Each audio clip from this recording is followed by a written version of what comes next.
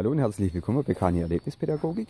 Ich bin der Andi und wir haben heute vor, Opinels zu tunen.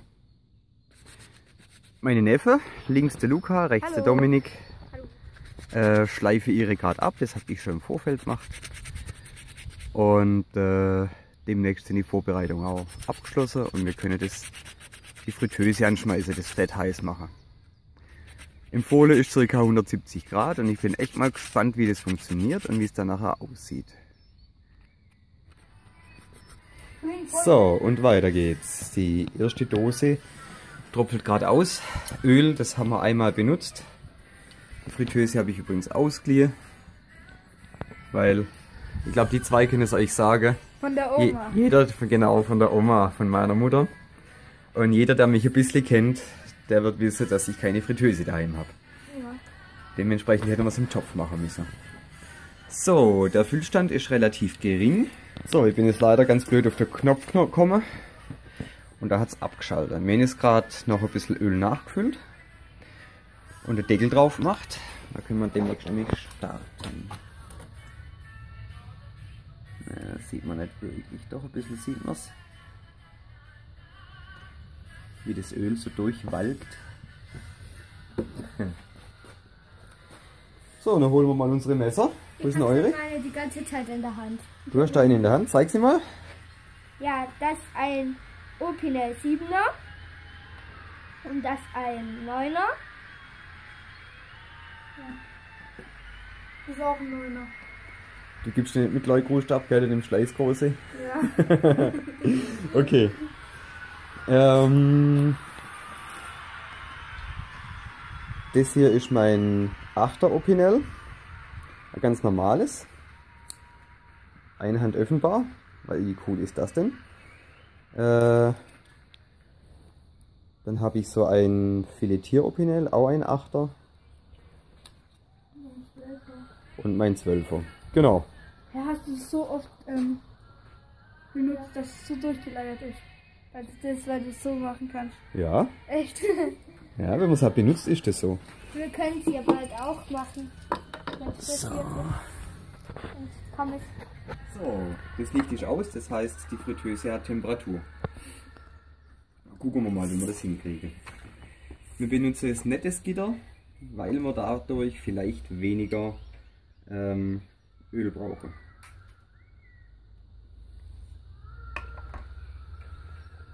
Wie man sieht, hoffentlich, ähm, steigen da kleine Bläsle hoch. Und das ist ein Zeichen, oh, da möchte ich erst die Riemen wegmachen. Ah, Schlamperei, was für eine schlechte Vorbereitung. Ähm, genau, das heißt, dass da Luft aus dem Holz rausgeht und Öl eindringt.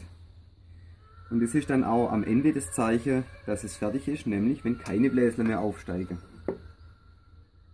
Das wird bei der Kleine wahrscheinlich schneller sein. Oh. Ja, das sieht man es auch schon bei dem einen. Oder bei Ja, deinem. siehst du, das schwimmt nämlich auch. Müssen wir gucken, dass das nachher vielleicht noch untergeht.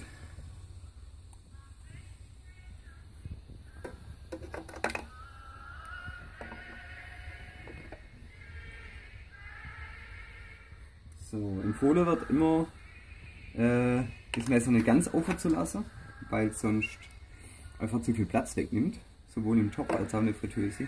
Aber so ein bisschen aufmachen, ähm, das in den Spalt überall und auch da, wo die Sicherung nachher wieder drauf sitzt. dass so, die Opinels sind jetzt knappe 5 Minuten drin. Es blubbert, Farbe verändert sich noch nicht so wie in manchen Videos beschrieben. Genau. Aber wir lassen es einfach eine Weile drin. Und dann wird es schon. Genau, ab und zu mal den Deckel aufmachen, mit dem Stöckchen ein bisschen runterdrücken. Und ich habe so ein bisschen den Eindruck, so arg schwimmen wie vorher tun sie nicht, gell? Ja, die ist ein bisschen gesunken wegen Öl, weil es ja schon, sich schon vollgesaugt hat. Genau. So, also Deckel wieder drauf und abwarten. So, wir sind jetzt bei 10 Minuten und es hat schon ein bisschen nachgelassen. das Blubbern.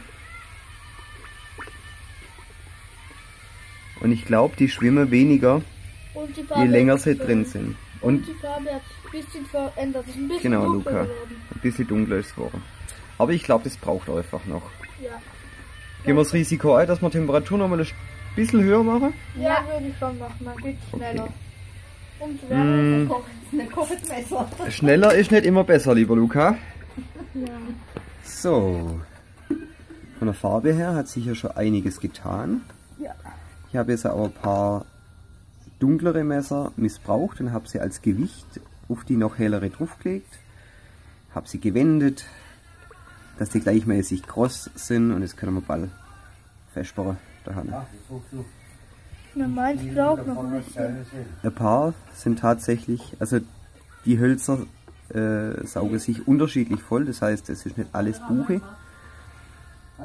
Ja, aber wir gucken mal ab. Gucken mal ab, ja. Warte mal ab. Genau. So.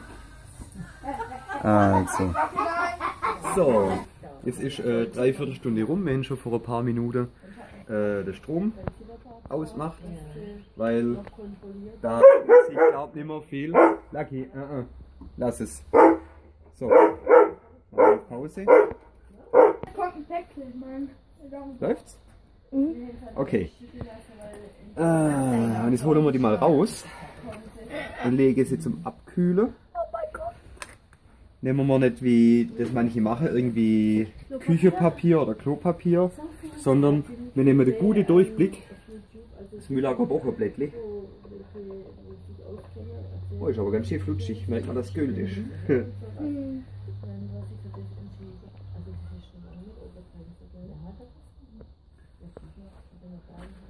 Man sieht auch schon, dass sich die Farbe ziemlich verändert hat.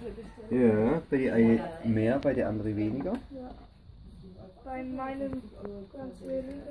Was wir auch noch verändert haben, ist, dass wir dann irgendwann die Klinge zugemacht haben. Und durch das Gewicht, dass das Gewicht über die ganze Länge vom Messer ist, ähm, ist dann ganz unterm Öl gelegen, hat sich, glaube ganz gut bewährt. Ja. Wie man sieht, ist es hier so nussbraun wie die Farben. So, jetzt brauchen wir dann noch Ja. ein Stückchen.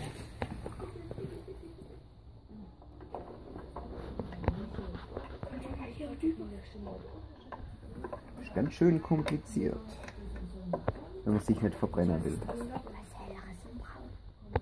Etwas helleres Braun. Und ja, bei den anderen, bei den zwei. Hey, es wird erstoppt durch die Karte. Ja. Irgendwie will das nicht so richtig. Naja, So. bei de, dem Rest der Messer, es sind noch drei Messer, Es sind jetzt noch zwei Messer. Das, das eine, das kleinere, das meinte, das nicht so dunkel, das 12 Wahl. so. die sind nicht so arg dunkel. Ja, ja. Kein Nussbraun, sondern Nussschalenbraun. Nussschalenbraun. Ja, Ist natürlich auch eine Variante. sieht cool aus. Ja, also ich bin sehr zufrieden, zufrieden mit dem Ergebnis. Ich finde die helleren eigentlich besser. Okay. Mir ist eigentlich Vor egal. allem kann man in die hellere nur den Namen besser einbrennen. Ja. Genau, das hatte ich nämlich bei meinem auf jeden Fall machen, bei meinem 12er. So, Pommes her, können wir gleich hinterher schmeißen. Ey, sorry, aber ich habe keine Pommes in der Hosentasche im Moment.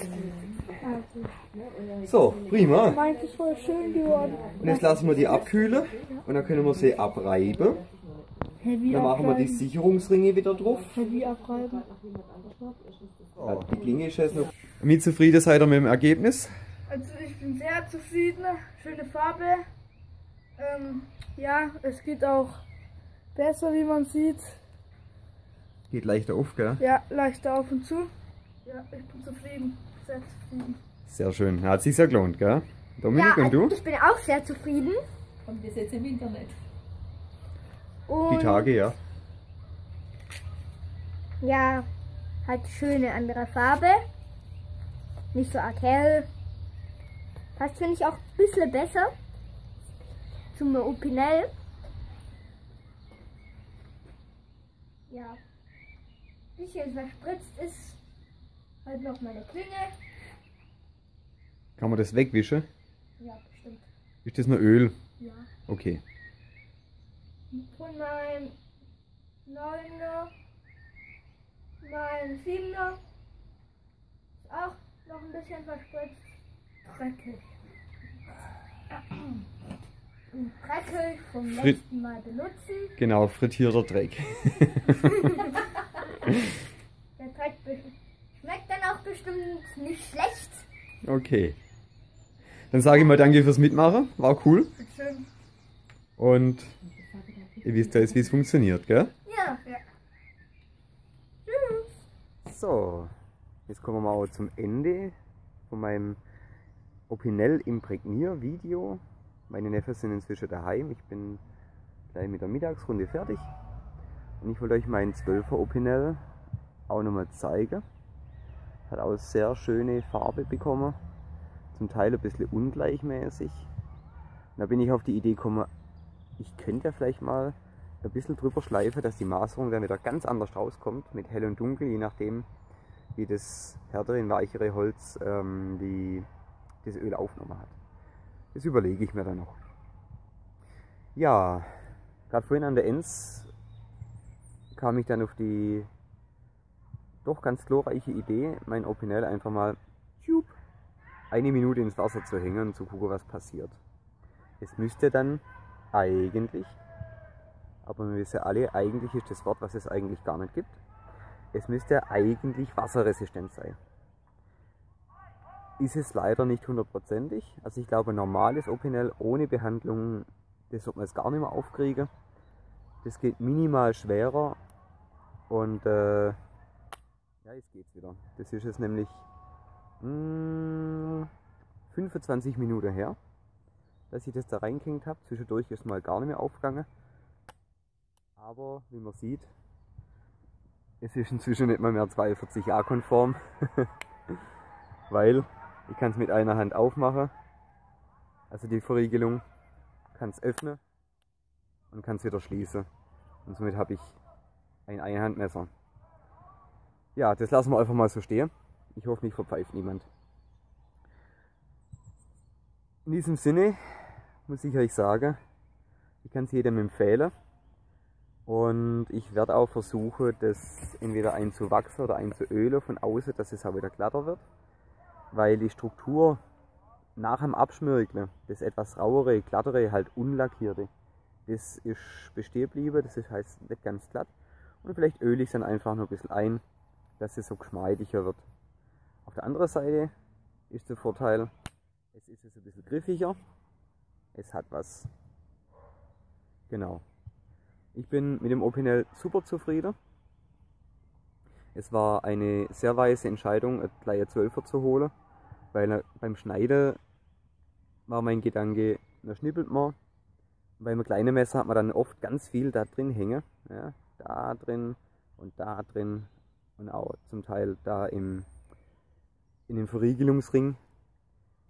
Und mit dem 12er komme ich doch dann relativ weit und kann sagen, okay, da kann ich auch mal was schnippeln, ohne dass der Schaft verschmiert ist.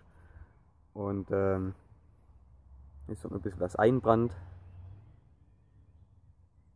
Und es wird so auf jeden Fall hoffentlich ein langer Begleiter. In diesem Sinne, gehabt euch wohl. Viel Spaß beim Nachmachen. Äh, ah ja, zum Nachmachen wollte ich auch noch kurz was sagen, genau.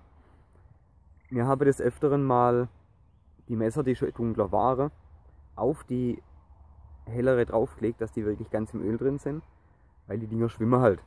Genau aus Holz schwimmen somit auch im Öl. Das hat sich dann insofern bewährt, dass sie doch recht gleichmäßig dunkel geworden sind. Und gegen Ende waren wir dann mit dem Gesamtergebnis von allen Messer sehr zufrieden. Habt ihr ja gesehen vorhin, meine Neffen. Ich bin mit meinem Messer auch zufrieden, mit meinen zwei anderen. Und insofern muss man da öfters mal umschichten, ausprobieren, mit der Temperatur vielleicht auch mal ein bisschen rumspielen. Ja. Genau. Einfach mal was wagen, bisschen mutig sein und auch mal mit einem guten Opinel, also man ein bisschen ans Herz gewachsen ist, einfach mal ein bisschen Individualismus walten lassen. Weil Opinel kann jeder.